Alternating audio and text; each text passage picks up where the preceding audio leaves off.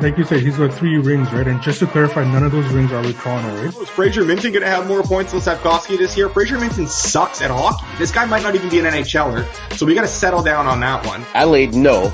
Minus 160 on will they show her holding a drink in her hand. They are two points behind the St. Louis Blues in the wild card, and they are. Oh, the Blues are dog water. The Blues suck. And The that's my Blues are the worst of those four teams that I mentioned by a mile. And that's they're they're point. not a good hockey team. Care. Like, have some set of balls, have some response, have some pride for what the hell goes on on the ice. It's so absurd. I'm looking forward to the parade, um, but that's going to be later in the year. I'd rather have so money in that than have Arvid Soderblom. I would rather stack a bunch of garbage that I have in the corner of my room over here than have Arvid Soderblom in that. He's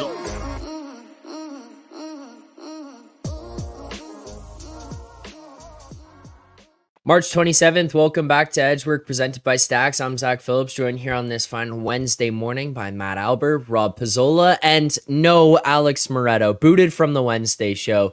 Too many losers on these Tuesdays. He keeps trying to put it on Russell and saying it's it's Russell's losing, it's Russell who's losing. Maybe he's a part of the mojo. Maybe that's the problem. I don't know, but we had to kick him out of here. Finally, get some winners going on this uh, on this Wednesday. Only two games ahead of us, but we'll break some both those down. Maybe looking ahead to some futures. Before we can get into any of that, I want to remind people if you haven't already, you should be signed up at the Stacks Betting Exchange. If you're sick of getting limited and profiled, Stacks is a unique sports betting exchange that offers higher limits and better pricing. Stacks offers a fair and real time marketplace for users to bet on the outcome of sporting events, offering better odds in a peer to peer marketplace. Stacks is the best option for anyone who wants to wager on live sports, so make sure to add Stacks to your list of outs and sign up today. You can get commission free trading when you sign up now. The option is yours at Stacks. Rob, you said it. You said that that's it. We got to get Moretto out of here. I mean, we went 3 and 6 last night, brings our season record to 315, 330 and 12. 2.6% ROI here now. 16.8 units were up on the season. Enough was enough for you. it's important to keep the momentum going into the playoffs because we know we're going to give back like 14 units in the playoffs like we do every year here on Edge Work. So we got to we got to stay above water going into the playoffs. 3 and 6 not acceptable. However, I will say all the games yesterday involving playoff teams or playoff bound teams, I swear the wrong team won every single game. Like typically speaking, you get a few where you look at the the you know the expected goals metrics afterwards and you're like ah okay that you know sure there was like every game involving a playoff team yesterday where the the wrong team quote unquote wrong team won so it was certainly an interesting night on the ice but uh, two games tonight and uh, maybe some futures and some props we can talk about as well Well, we will get into those, but I'll give Alber a minute there. I mean, this guy looks like he just walked out of the Madison Square Garden Rangers shop to come on the show. Rangers hoodies, Rangers hats, and Jordan says, "Oh no, you didn't boot Alber. Now we got to hear about the Rangers win." Alber, take your 30 seconds. Tell us about the Rangers. Oh man. Um, well, you know what? This would have been a little better if Rob didn't lead that off with the wrong team won every game. Um, it i knew what i was doing like alber I, I know it did. It did feel like a coin flip, and then I go look at the whole expected goals thing, and I'm like, this is perfect. Like I get to stick it to Moretto, who's like dead in the ditch somewhere after last night. I don't know. Throwing shade at Russell on Tuesdays, throwing shade at me on Wednesdays. Goes like one in twelve last night. Like Rangers win. We're yeah. See, like he, he's not going to stop, right? Like at this point, it's kind of a bit on his end. Um, he he's got to do that after to distract everybody from the fact that he went like zero and six yesterday. Um, Mhm. no, it was Philly's starting to worry me. If we actually draw them round one, like they played us obviously tight last night, they played us tight the game before. Like they just kind of stick around. Um, thank you, two and four, so much better. Um, but Hmm. yeah, it was uh it was certainly an interesting game. Like neither goalie could save anything. Um but no, it was it was a fun one. Um I mean look, you look at it, right? Like we were on the Panthers and the under. That goes Bruins and over because that's how those have gone literally the entire season long. Um Mhm. but like Rob said, like you definitely could have gotten some other results in different games. But yeah, it is what it is. We're on the Wednesday. No Moretto. no Moretto. Uh, yeah, Moretto will be carrying around the uh, carrying around the Adult Safe Hockey League trophy around King City today or wherever Toronto, wherever the, it was that they played and won in the parade while he's absolutely hammered. So uh, that's that's how his day is being spent today. Congratulations to him and his men's league. That was more important than showing up here to the Wednesday Edge Work show. I don't know about that, but it is what it is. We keep it moving, and It's really the high point of his life. Let's call it out for what it is. Yeah. Adult Yeah, men's league yeah. championship. You know, I mean, Reto look, plays like let's be- four minutes a game as as the fourth line right winger or whatever. uh, you know, like, it, but it is it is a great moment for him. Uh, he should celebrate for sure. Yes. Is Moretto the Matt Rempe of his beer league team? One might say that he is, except Moretto's not fighting anybody. Let's be real. Um, No, he's the guy that he'll Also- instigate, but then like leave, skate to the bench while the rest of the team is scrapping. That's the Oh no, special. Rob, you just he's just going to there. turtle. He just goes immediate turtle on the ice. yeah. Is Nick Cousins laying down, covering his head. Um, yeah, I don't know. Yesterday, Moretto was talking about frauds uh, and uh, the Rangers, how the Rangers were going to turn back into frauds when it comes to, or we're going to be exposed as frauds when it came to the Stanley Cup playoffs this year. But according to some people online yesterday, guys, there's uh, some fraudulent behavior based on how much money your parents had when you were growing up and whether or Mhm. not that actually matters for how many goals you score in the NHL, diminishing a 50 goal accomplishment there for Zach Hyman this season. Rob, did you catch any of that yesterday? I'm not, I won't necessarily bring any of it up in terms of videos or clips or anything like that. We don't want to give it too much more publicity, but any thoughts on Zach Hyman's dad paying his way to not the NHL, mind you, but uh, 50 goals? Yeah, I, I I caught that yesterday. I mean, I don't know what's got to be going through your head to put a video like that out there to the public. Four minute You video. know what the res- reception is going to be, generally speaking. Uh, listen, obviously Zach Hyman had some advantages growing up and was able to play hockey, and some people just can't, and whatever. That doesn't diminish his what he's done this year. It really doesn't. For every Zach Hyman who grew up wealthy, had an opportunity. There are a lot of look, you know, I played with players who were very wealthy that never even came close to to the NHL because they didn't have the work ethic, they didn't have the skill. So there's a lot of things that go into it. I, I thought that was a pretty, you know, it was uh it was done in bad taste. Let's put it that way. Um I, I mean, Hyman is anyone who's watched the guy play can tell how hard he works and has worked for the majority of his career. Uh, whether uh, his family grew up, you know, with the privilege or not, I, I think it's completely irrelevant. So, yeah, r- really ignorant, I would say. Yeah, Alber, did you have uh, any opinion on what you saw yesterday? I know that you hadn't really seen uh, hadn't really seen much of that guy before, any comments or anything, but based on the fact that pretty much hundred percent of every part of hockey Twitter and hockey the hockey universe yesterday came against that guy, it was pretty impressive. Yeah, I mean, look, I had never even heard of the guy before the video. Um, first and foremost. Second of all, who takes a four-minute video holding a phone like this? Like that, that that's the awkward as you're doing it. Like you have to know that it's going to go out there and just look awkward from the beginning, regardless of what the hell you're saying. Um, Yeah.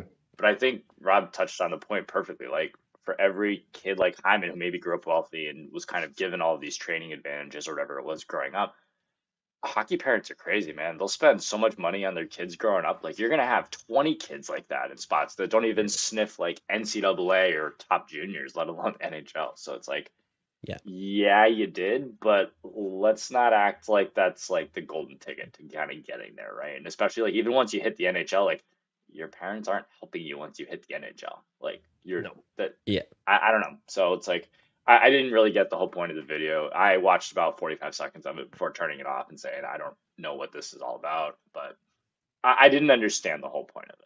Uh, He, he, I mean, he should have recorded it like Kevin Weeks records his videos with like half of his face. Sh- that way he could have said afterwards that it was a joke. Like that, that at least he could have fallen back on like, no, no, no, it was just a because that was just like straight from the heart, complete garbage rant. And listen, Yeah. everyone's entitled to their own opinion, but my opinion is that that one was a really shitty opinion, like really shitty opinion. I haven't seen something like that in a long time.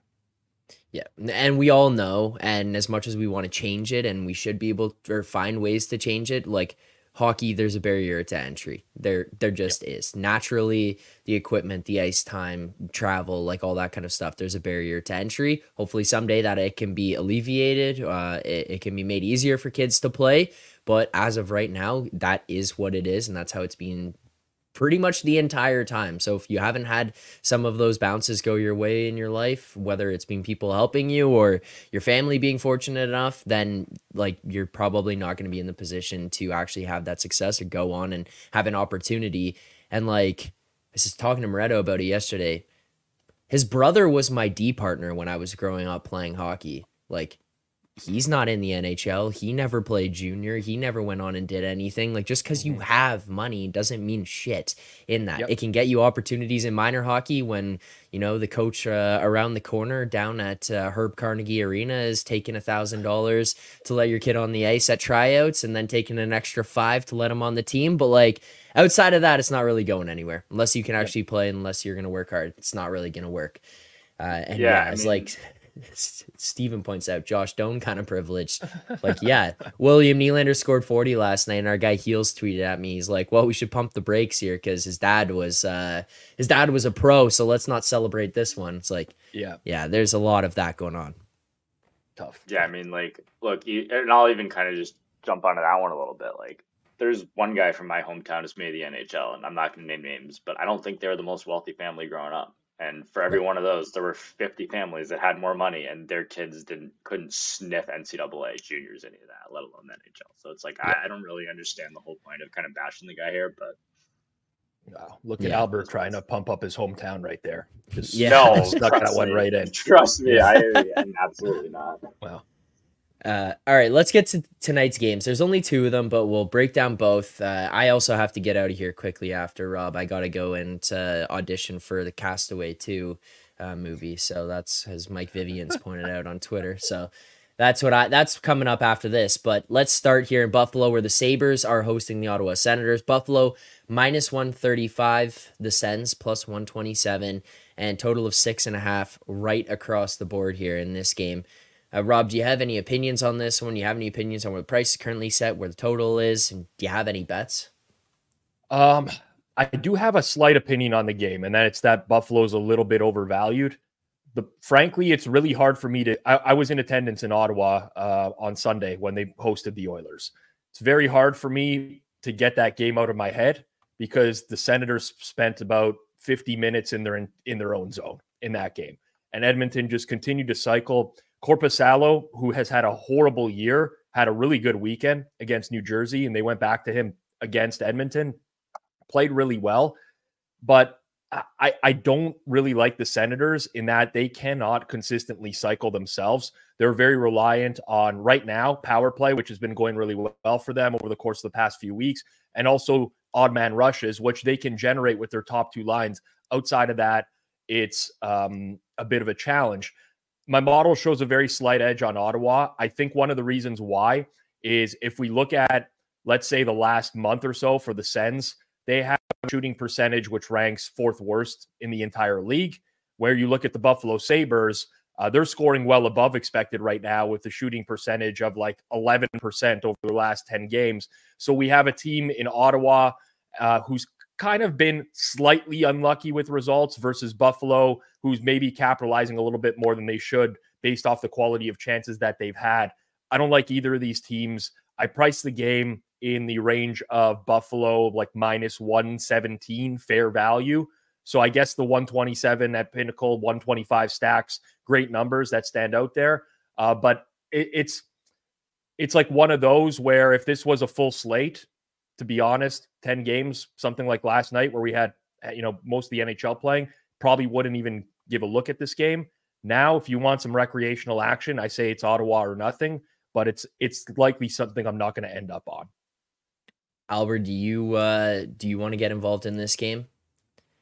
I'm not getting involved in it, but I kind of have a lot of the same thoughts. Like you kind of look at that span, right? Like the Senators have been playing a little better than the Sabres. Sabres have certainly kind of gotten a little lucky out of there, and the Sabres just haven't been a team that I'm looking to lay like a minus 140 kind of price on, like for most of the season. Um, just like they just play so high variance week to week, kind of with the young team. It's like you really don't know what you're gonna get with them. So I'm not really looking to kind of lay that price on them. So it would be Ottawa or nothing. I, I passed on this one. It, it Uh, is I got a tough travel spot too, Zack. Yeah. Insight points it out in the chat. Um, Yeah. And Ottawa's had like a lot of shorter trips recently, right? They haven't been moving around all that much, so it's somewhat factored into the price as as are all the rest situations nowadays and the travel situations. But it is another thing that you got to take a look at with Buffalo. They haven't been good at home this year, like below uh, 500 at home. I, and and to Matt's point, like there's just certain teams you look at prices and you're like, yeah, I don't I don't really want to lay this team this price with this team unless I I see a significant advantage here, and uh, I don't really. So it, it's Ottawa or nothing. But I mean, the Sens the Sens are like a team that uh, we've seen some mail it in specials over the, the past few months with them as well, right? Where things just get out of hand when they're away from home too. So I don't know. It's a it's a ugly game, tough one, but uh, lean Ottawa here. Well, and it's we'll kind of similar off. to like sorry real quick like we touched on this with i think it was nashville a few months ago like it's one of those teams that if they're dogs or they're kind of around the pick 'em range like you're interested in it once you get to them laying like a decent number as a favorite now now you want to lay nashville minus 400 every game because they're never going to lose again but like generally one of those teams like once you get to minus we are all 140, Preds. minus We're all Preds, minus Alber. 160, Oh no. we don't need another Moretto here. Um, but like once you kind of get to that price, like, do you really want to lay Sabres minus one forty here, even if they are the better team, kind of against Ottawa in the spot? No, not really. Um, so yeah, for me, it's Ottawa or nothing, but I'm staying. Okay, well, let's go to the next game here where we got two best bets. Perfect. Uh, where you got the Tampa Bay Lightning at home against the Boston Bruins. Tampa minus 111. Best price on the other side on the, oh god on the Bruins plus 102 at Stacks. Uh, we see some five and a halfs kind of trending a little bit towards that six right now. Seems six is mostly available across the market. And uh, Alber, you're looking at a main market in this one. What do you got for us? So this one's pretty simple. Yesterday we played the under between the Bruins and the Panthers. I was on that as well. I have the Lightning as more of an under team than the Panthers, and you're getting a slightly better price here. So I took the under six minus 109. Um, Vasilevskiy, you'll definitely get him back in net, kind of after getting Johansson on Sunday night. Um, for the Bruins, it must be nice being able to go from Swayman right back to Ullmark. Better price than last night. I, I'm happy with the under six here.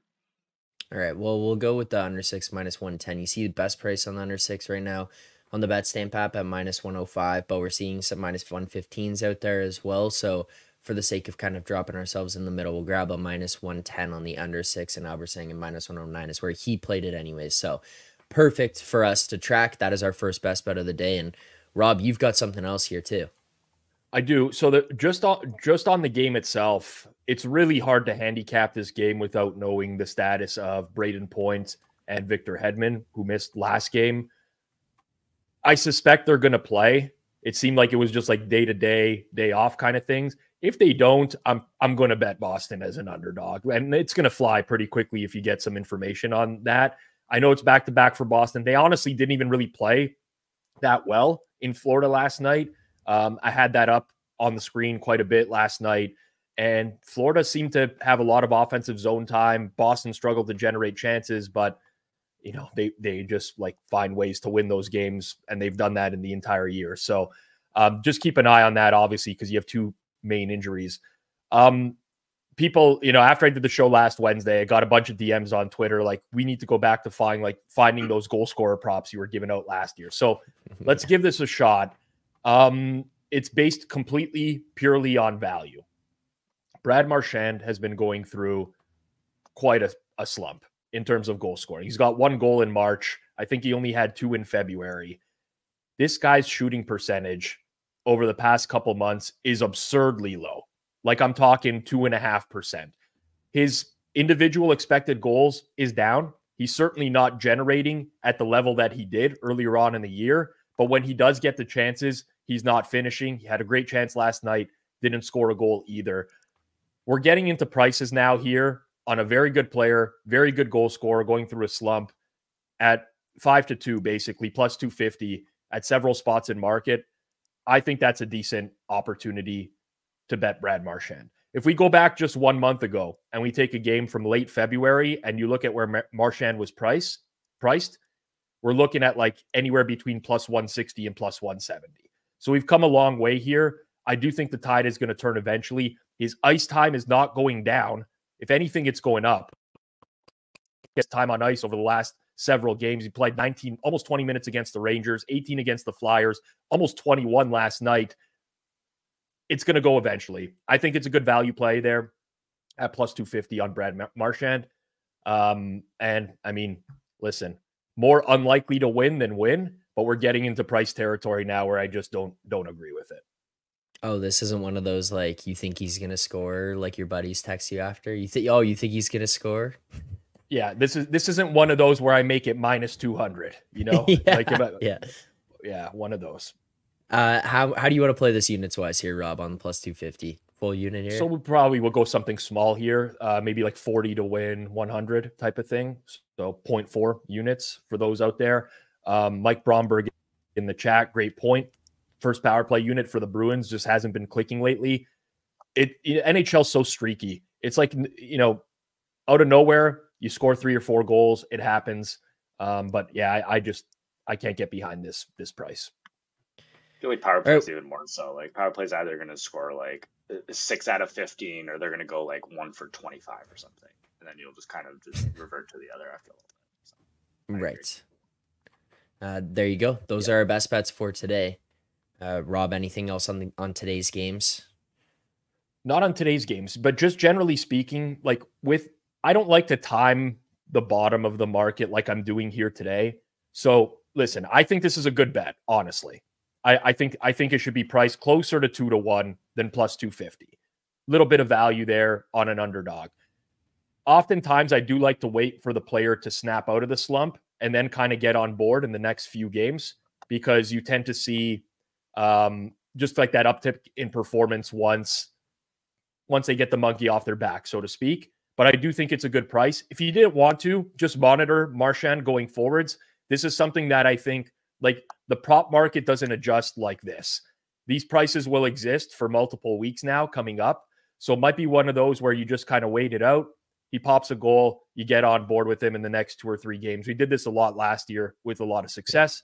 So just throwing that out there that like especially NHL prop market, you're not going to see massive changes in prices from game to game. Even if guys get elevated up and down the lineup, it just doesn't tend to happen all that much. So just something out there for people to monitor. If you don't like it tonight, no worries. Just monitor his prices going forwards because I do think that if you were to bet these maybe for like the next three to four weeks, you probably come out ahead.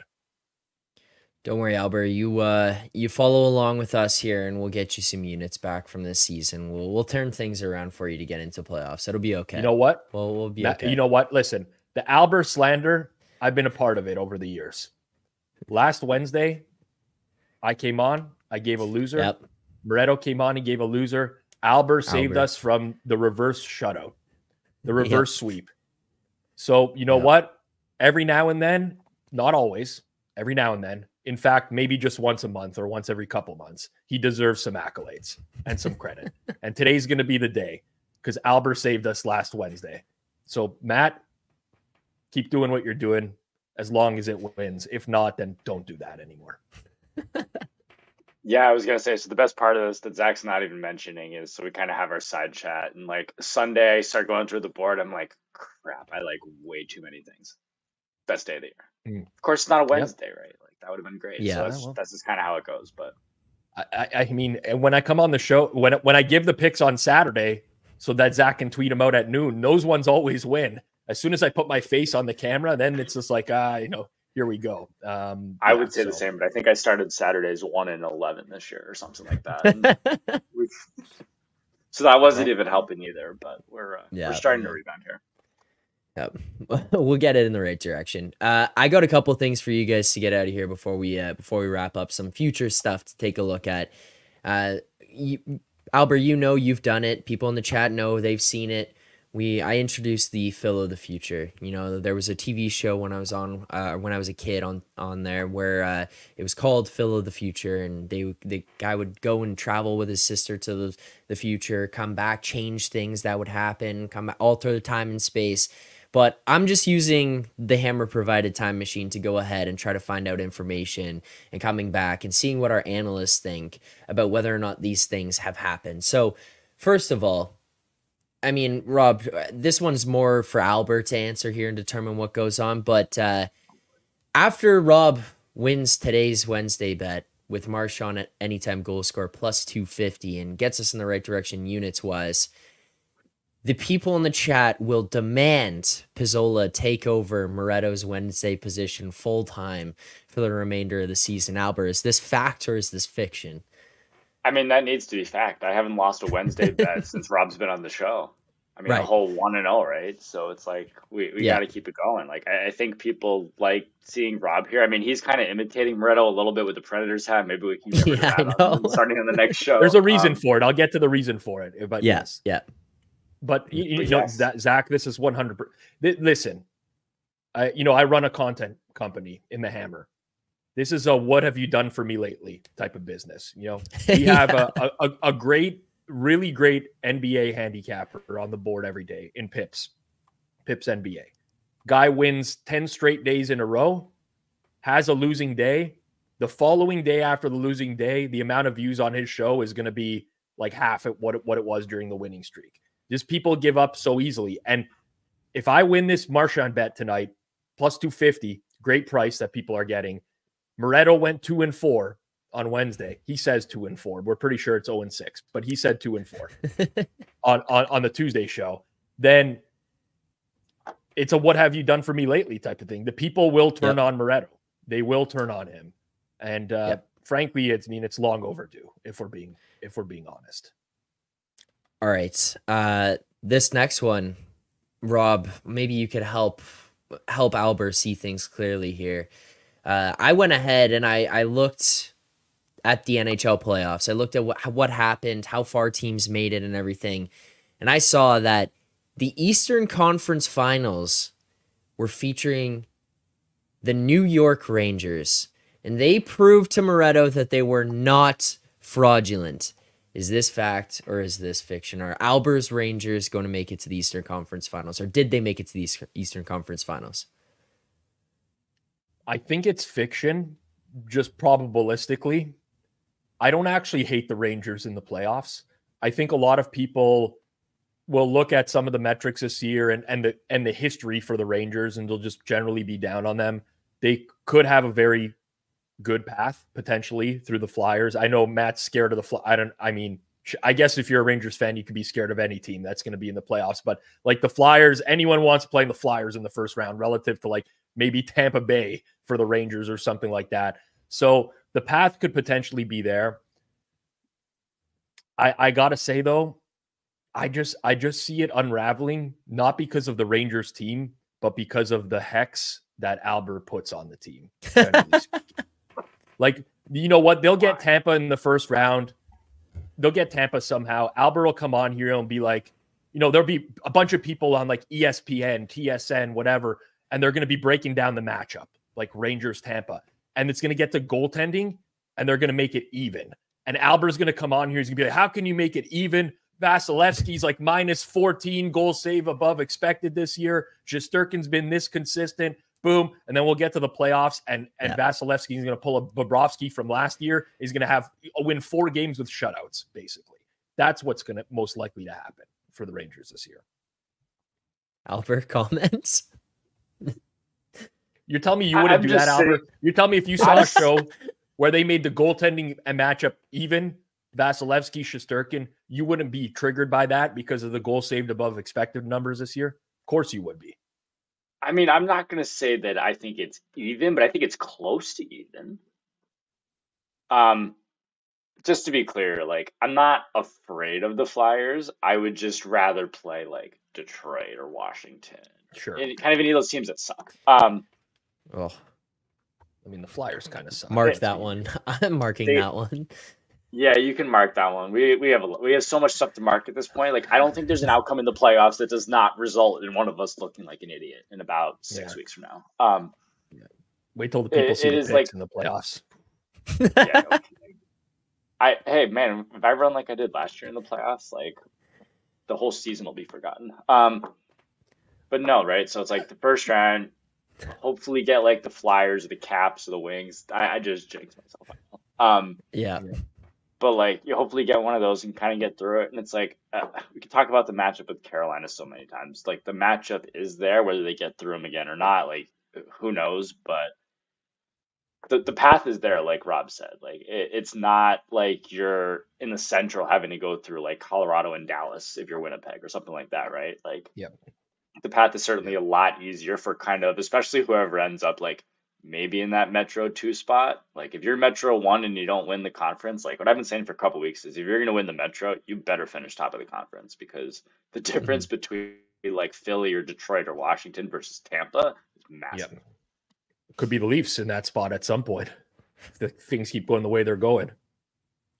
Leafs are gonna beat the Bruins, so No, okay. Mm. Uh, all right. God, I got I got two more out, for you guys. on the record. Yeah. yeah, I know. I got two more for you guys. wishful thinking.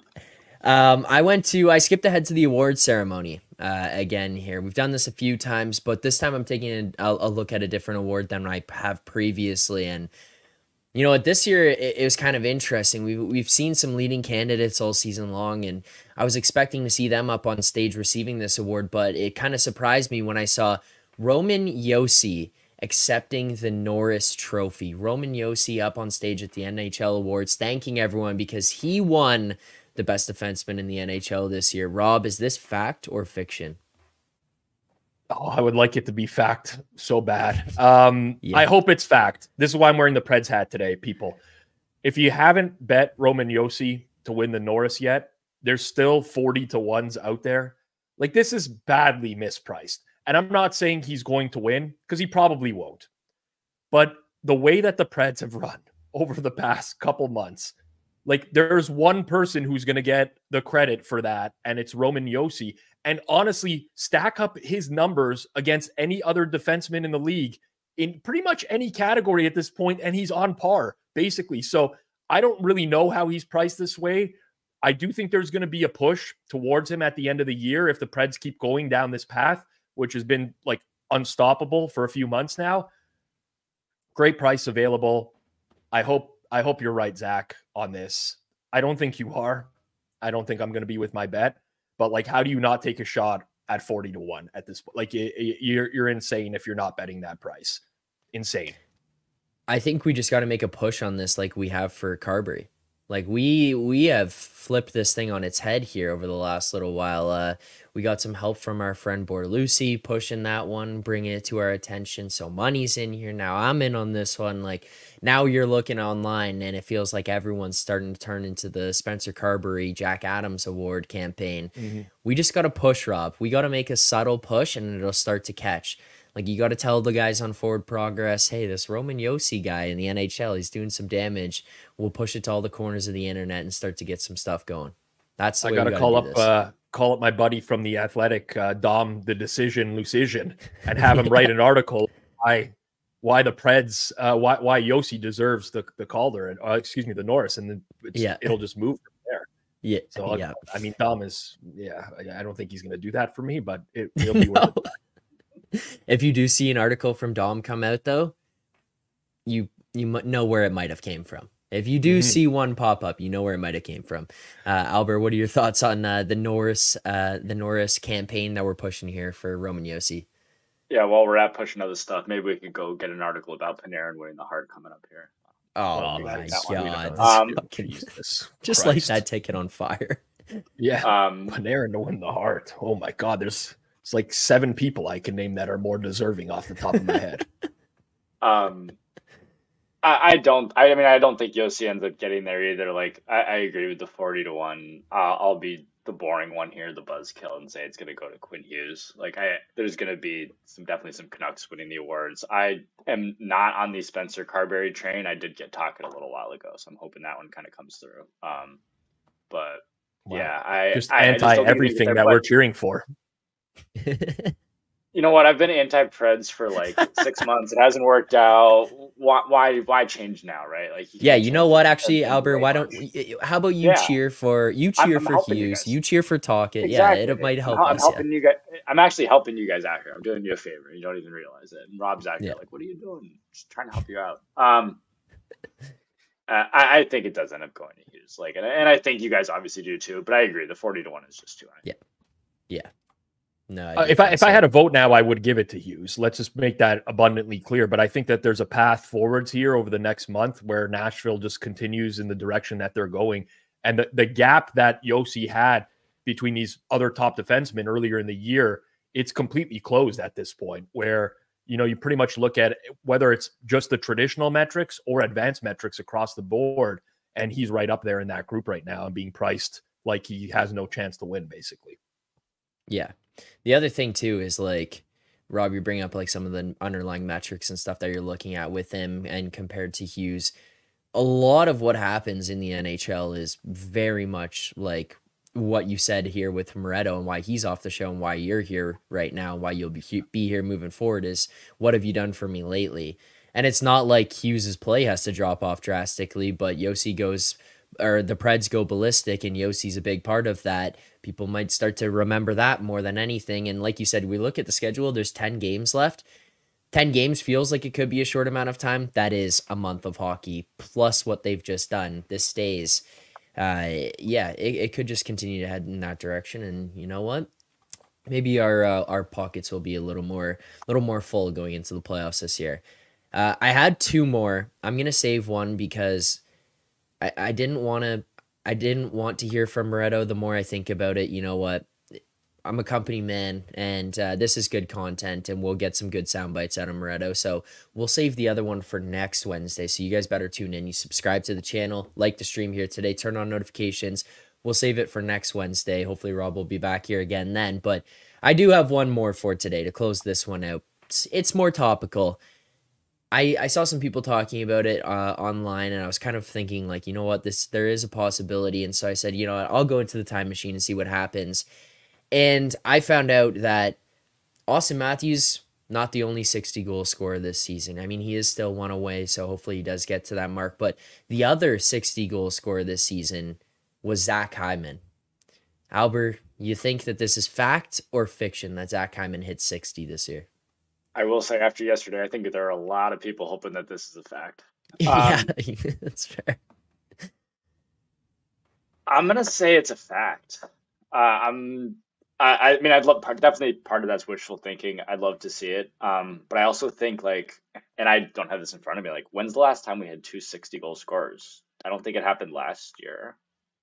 No, it ha- it it probably hasn't happened since like Selanne and Bure, like in the '90s. I don't.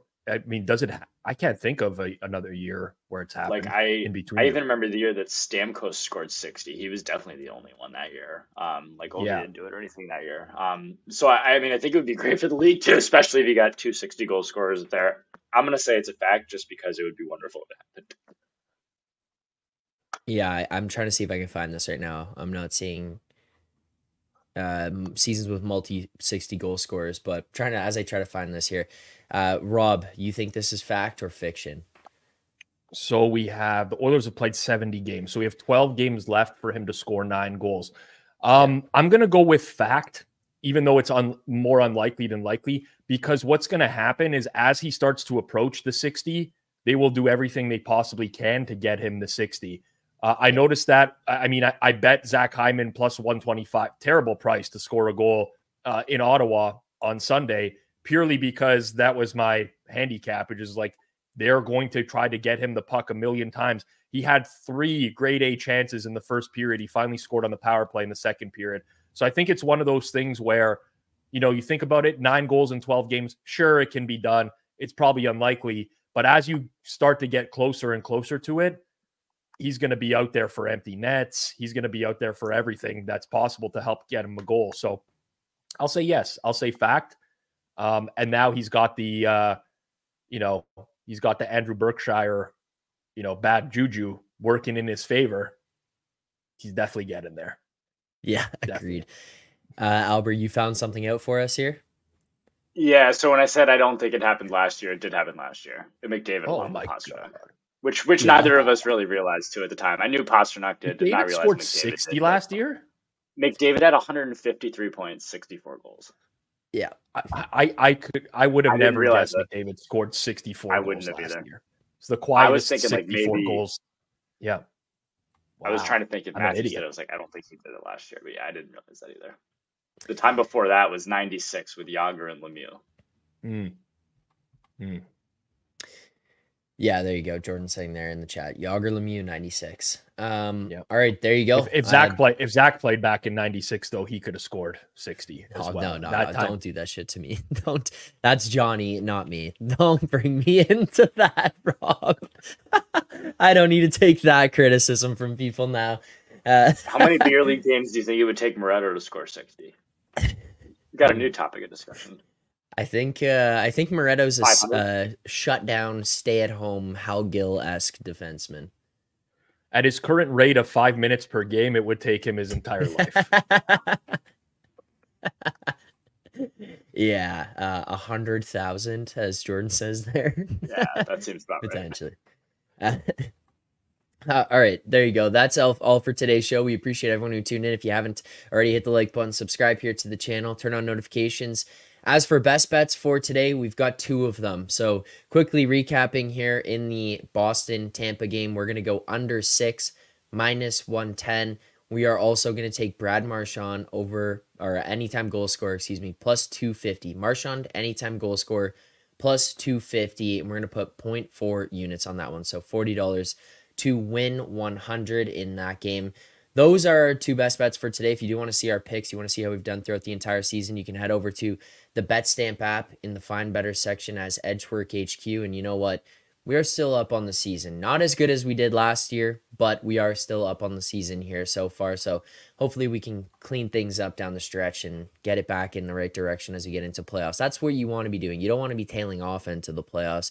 You want to be building up at the right time. You don't want to peak too early. So that's what we're doing here on the Edge Work Show, turning things around.